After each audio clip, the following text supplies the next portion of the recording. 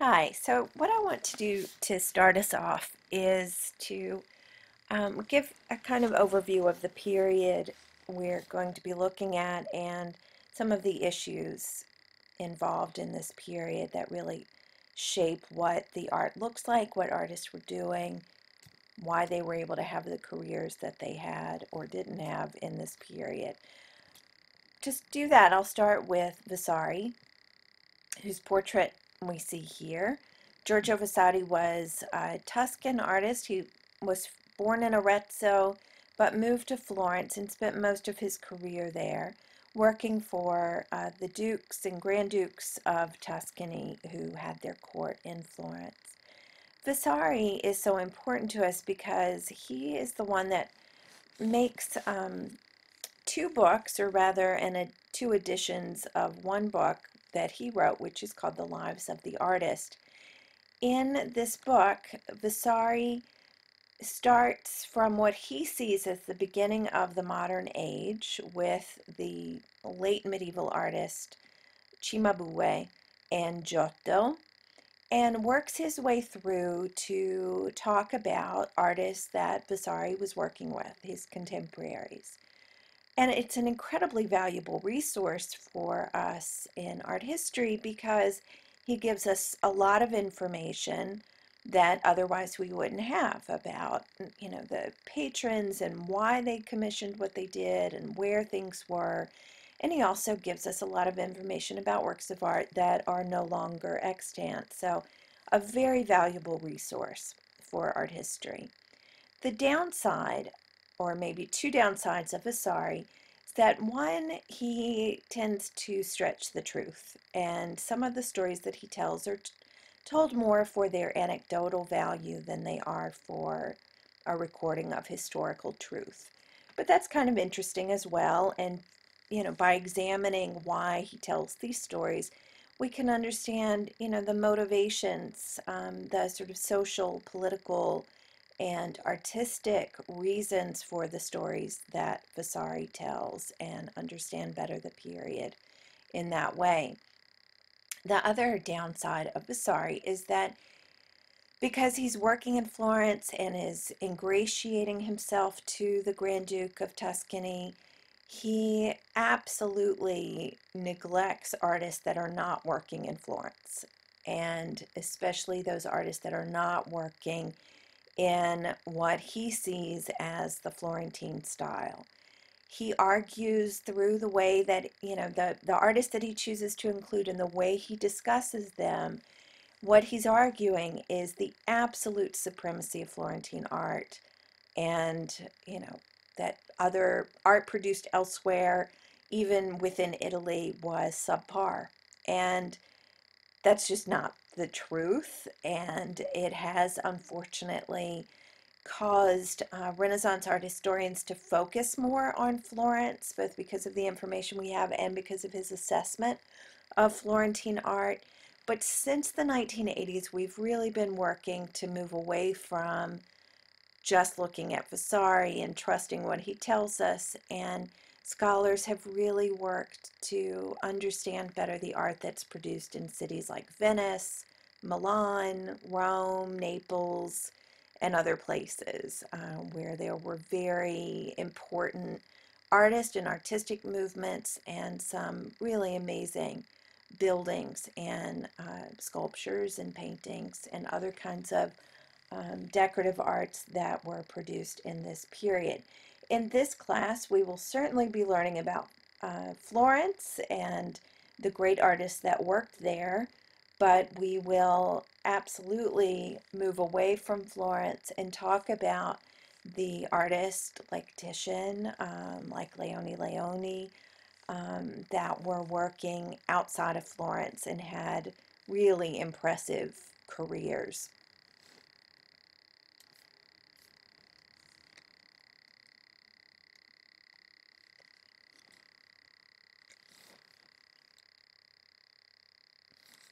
Sorry.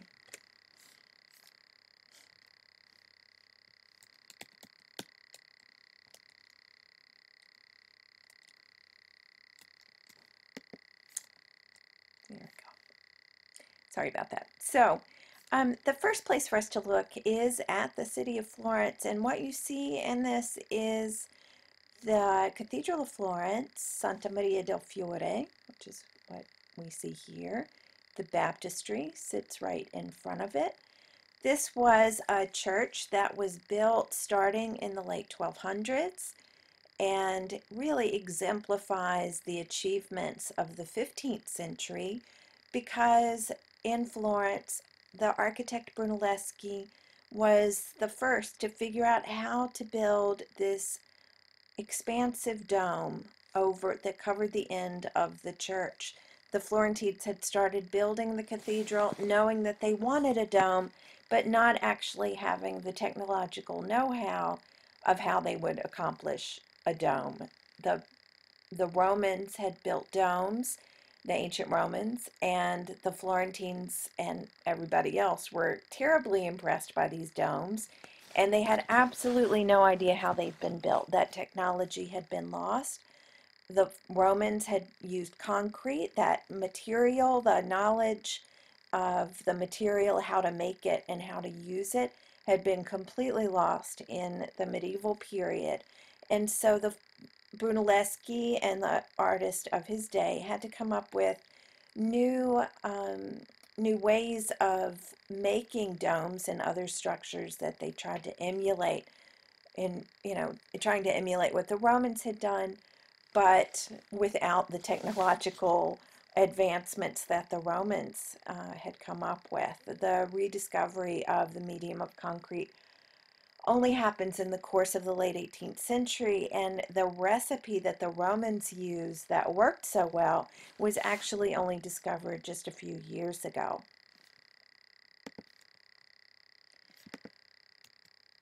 The way art looks um, in this period, this period right when the cathedral is just starting to get underway, is very much rooted in the Byzantine style. Gold backgrounds, really flat figures, and there's a real rejection of those classicizing models, the way that uh, sculpture and painting looked like during the ancient Greek and Roman periods.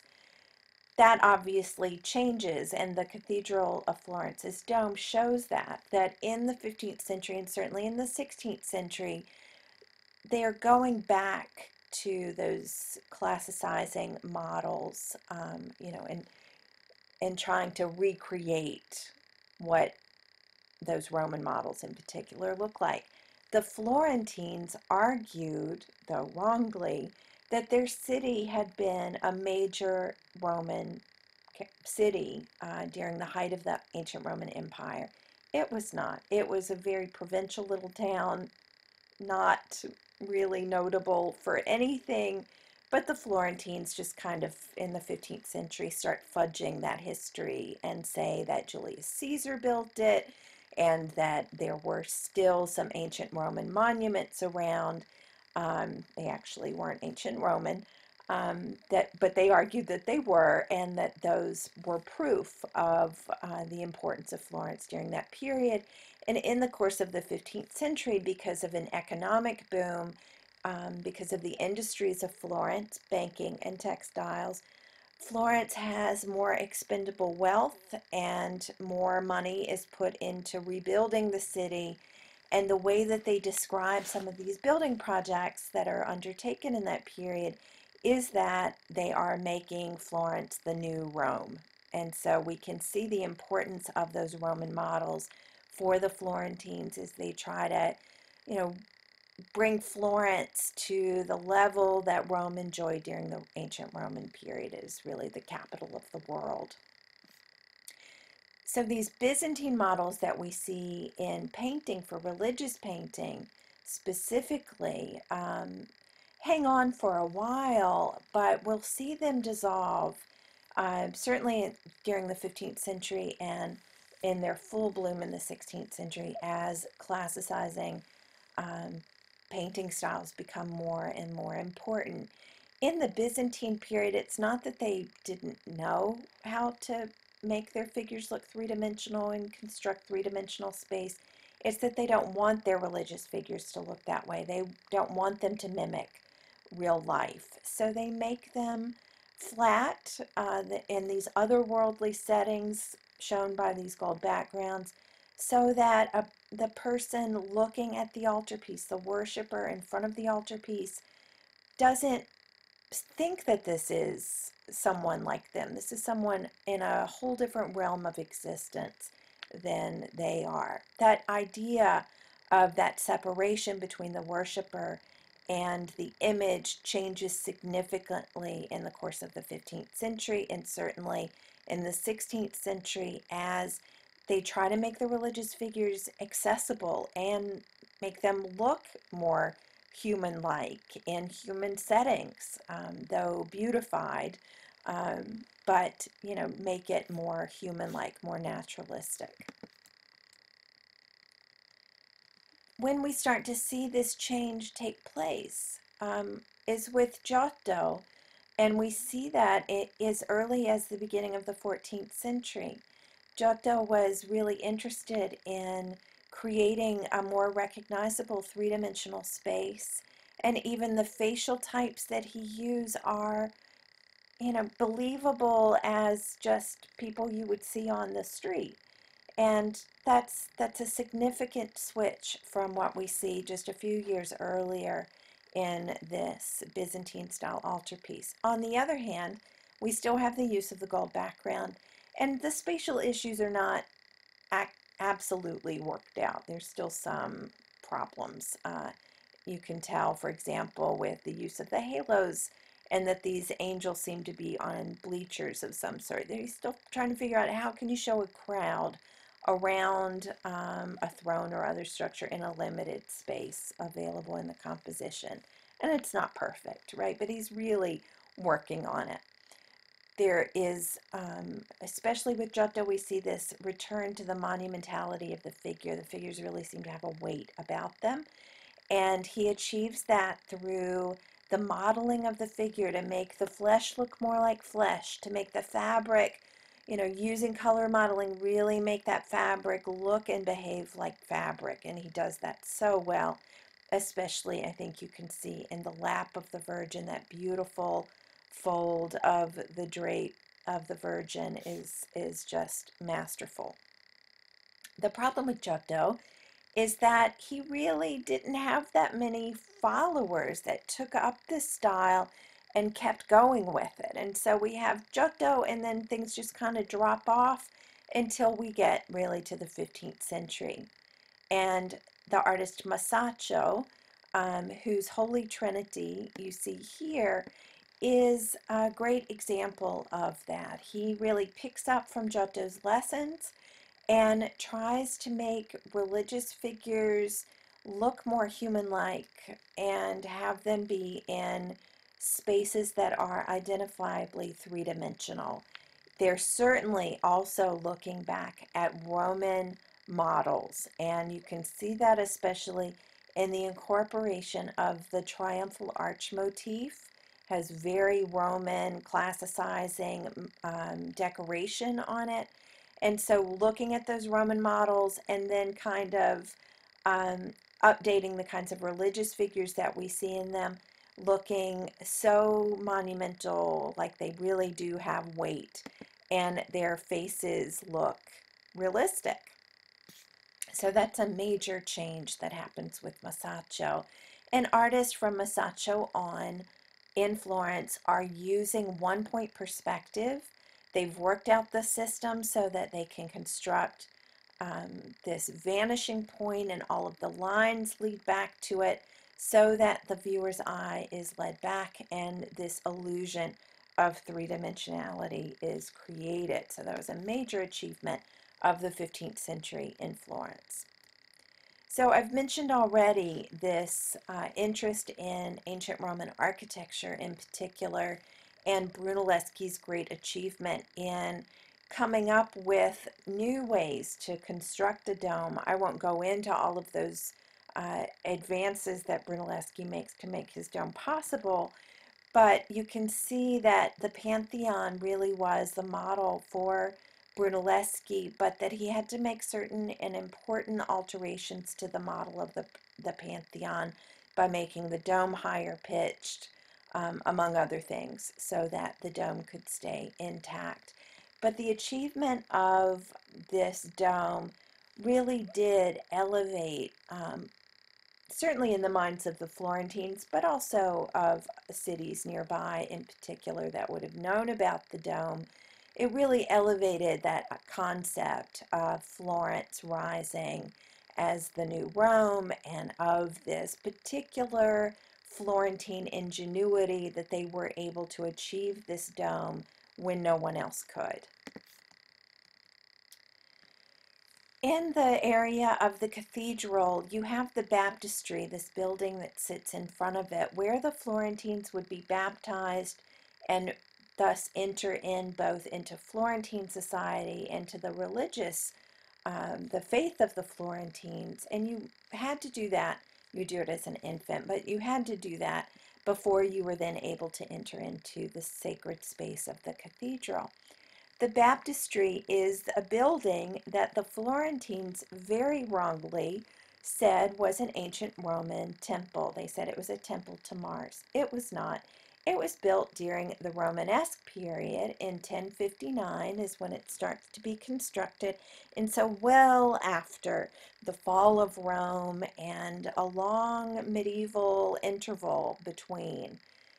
Did they not know anymore in the 15th century that it was an ancient Rome, that it was not an ancient Roman temple? Um, or did they, and so did they intentionally fudge the story or not? That we don't know. Um, but in any case, they argue that this is an ancient Roman temple, and as such, the baptistry serves as an important model in the development of Renaissance architecture in Florence, especially with the use of the repeated arch pattern and this use of a dark and light stone, pretty geometric patterning on the exterior. We see that mimicked all over Florence uh, in the architecture built in the Renaissance because they think that it's going back to Florence's ancient Roman roots. In the 15th century, we also see um, the introduction of new kinds of subject matter. I'm sorry the date appears to be cut off, but it, this is a painting from 1482. It is The Birth of Venus by Botticelli, another Florentine artist. And this is an important painting for many reasons, but we especially see embodied in this painting the interest of the Florentines and those of other people of other cities in Italy in this period of a move away from exclusively doing religious painting. This is obviously a mythological tale, and they're using models like uh, ancient Greco Roman statuary of Venus that shows the goddess in this pose um, so they're they're kind of lifting from these ancient sources and replicating them, uh, reusing them in their own work. Um, and this is, you know, a perfect example of doing that. Um, those models of the Venus statue that this is mimicking were well known. There were many copies of them around Italy um, and even beyond. And so this would have been easily identifiable, the source of this. David is an important symbol of Florence. This is true um, even well before the 15th century, but we have great artists of the 15th century like Donatello, a sculptor who is really seeking to humanize the figure, to really make the figure look like, you know, to study anatomy and make the it the approach to the figure much more scientifically based. Um, this is David, the adolescent who um, was able to uh, outdo Goliath and conquer him. And in fact, we see that David has already severed the head of the giant Goliath, and the head is actually under the foot of David here. This was an important Florentine symbol, a symbol that was associated with the Florentine Republic, especially. Florence had a Republican government. It was a very strongly uh, supported government, and the Florentines really were um, you know, had this sort of anxiety about maintaining the republic, especially because the powerful family, the Medici, the great bankers of Florence, really worked on uh, achieving a political uh, dominance over the city of Florence, and in fact, really achieved that by the end of the 15th century. And in fact, in the 16th century, while there will be moments when the Medici are not in power, for the most part, they are the rulers of Florence. By the end of the period that we're looking at, they are the absolute authority in Florence, and not just Florence, they take over the whole region of Florence, all of Tuscany.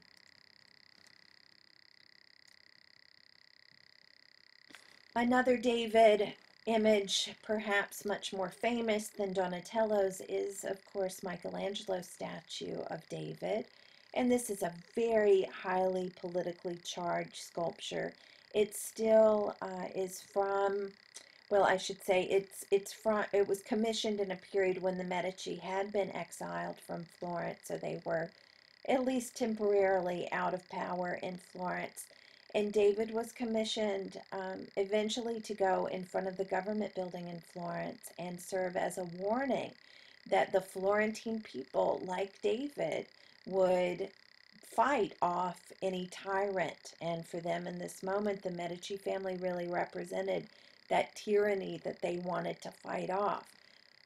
David is situated in such a way that he's sort of aimed towards Rome and that, in fact, is where the Medici family had been exiled. And so he's really meant to be understood as a warning to the Medici family. Obviously, we'll be talking about Michelangelo's David a lot more, but I would say before I move on that Michelangelo's David certainly represents that interest of the Renaissance artist to at least emulate what Greek and Roman artists had been able to achieve, if not outdo it.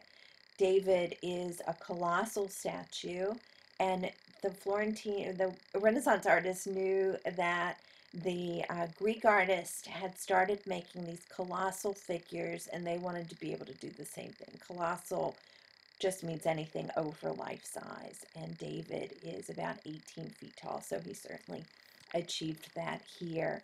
The uh, nude figure is also something that we see as an important theme uh, in Greco Roman sculpture, especially Greek sculpture, of the uh, beauty of the male body and the male body representing virtue. And that's an important part of the meaning of this statue as well. There were uh, particular sculptures that are uncovered in the course of the 16th century that have a huge impact on artists. So they're doing excavations in Rome and are uncovering statues that they had only known about through descriptions uh, from the Romans that recorded what they looked like. Um, and this one is a particularly important um, sculpture that was uncovered in 1505. Michelangelo just happened to be there when the sculpture was uncovered in Rome and they immediately recognized it as a sculpture group that Pliny had talked about and were so taken aback by the drama of uh, the representation here and the treatment, especially of the body of Laocoon.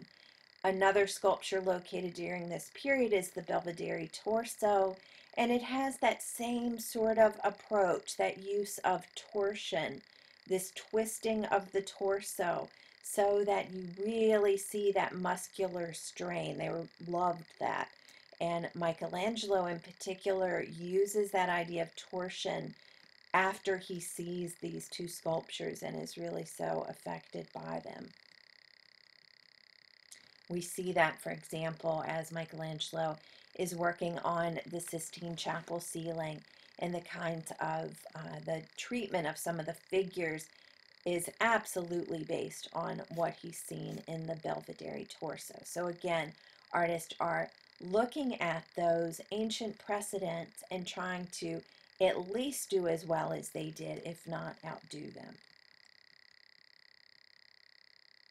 Just how we see some of these figures as they are then translated into the fresco.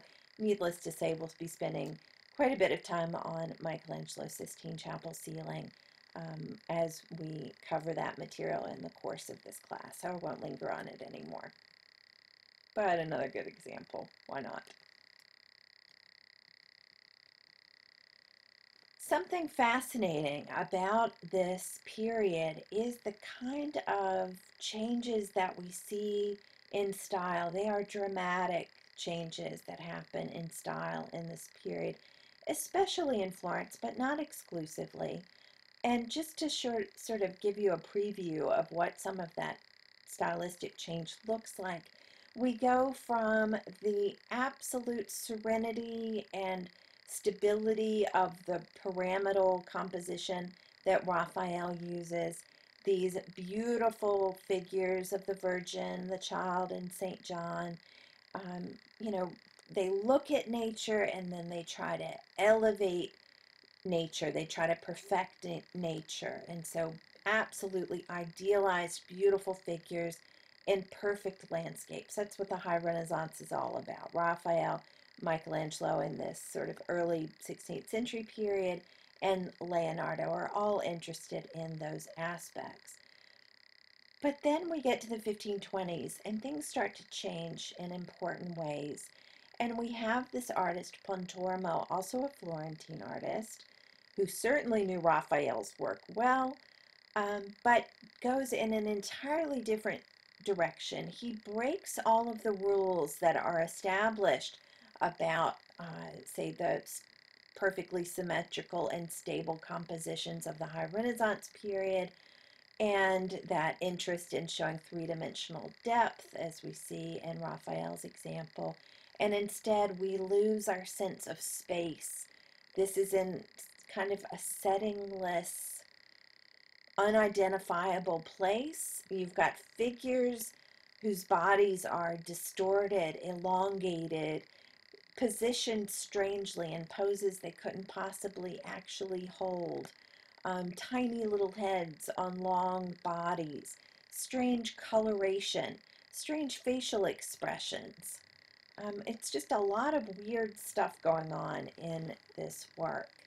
Um, and it, you know, really goes against that sense of the color harmony that you see in Raphael, and instead you have all of these clashing colors, all intentionally done, of course. And there are a bunch of artists that are working in this new style that some art historians call mannerism.